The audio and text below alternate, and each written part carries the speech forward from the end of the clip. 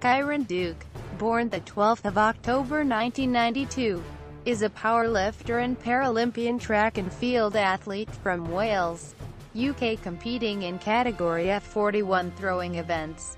Duke has represented Wales in the 2010 Commonwealth Games in powerlifting. In 2012 he qualified for the 2012 Summer Paralympics in javelin and shot put. History Duke was born in Newport, South Wales in 1992, but now lives in Pontnewydd near Cwmbran. He was born with a form of dwarfism. Duke took up powerlifting at the age of 12 and became junior champion at the Parasport in October 2009. He represented Wales at the 2010 Commonwealth Games in the EAD. Elite athletes with a disability category bench press.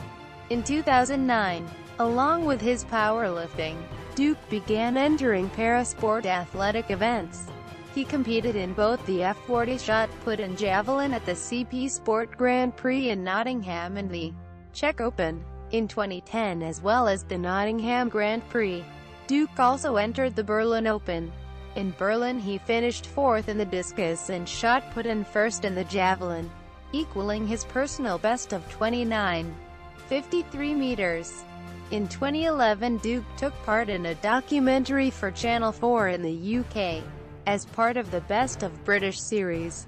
He, along with athlete Sean Clare, took part in the program which attempted to challenge preconceptions associated with their stature.